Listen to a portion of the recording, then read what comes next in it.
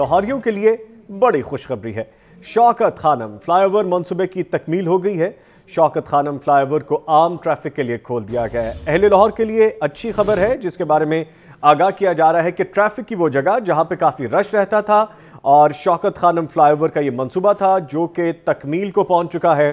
شوکت خانم fly over کو عام traffic کے لیے کھول دیا گیا ہے۔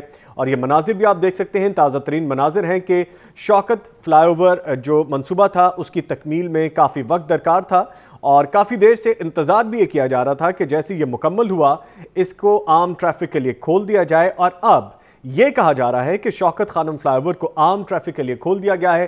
ٹریفک کی روانی جو شدید متاثر رہتی تھی، ارد گرد کی آبادیوں اور لوگوں کو گزرنے میں شدید دشواری رہتی تھی۔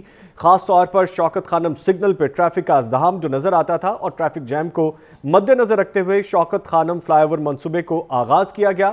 اور اب اس کی تکمیل کے بارے میں آگاہ کر رہے ہیں کہ یہ تکمیل مکمل ہو چکی ہے اور اس فلائی اوور کو آج مکمل ہونے کے بعد کچھ دن انتظار کیا جا رہا تھا کہ اس کو پہلے چیک کیا جائے۔ جو تعمیراتی کام کیے گئے ہیں، ان کو جانچ پڑتال کے بعد عام ٹریفک کی روانی کے لیے اس کو کھولا جائے۔ مزید تفصیلات کیا ہیں؟ شیخ زین العابدین سے جان لیتے ہیں۔ شیخ زین العابدین، بتائیے، منصوبے کا افتتاح ہوا، تکمیل ہوئی اور آج آغاز بھی کر دیا۔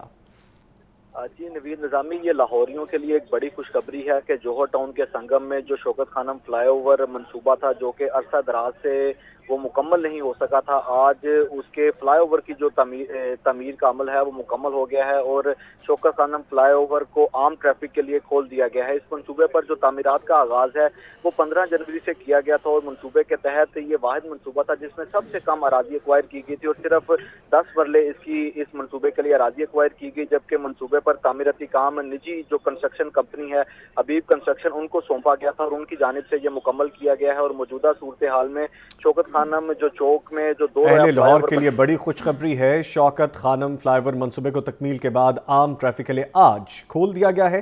شکریہ شیخ زین العابدین۔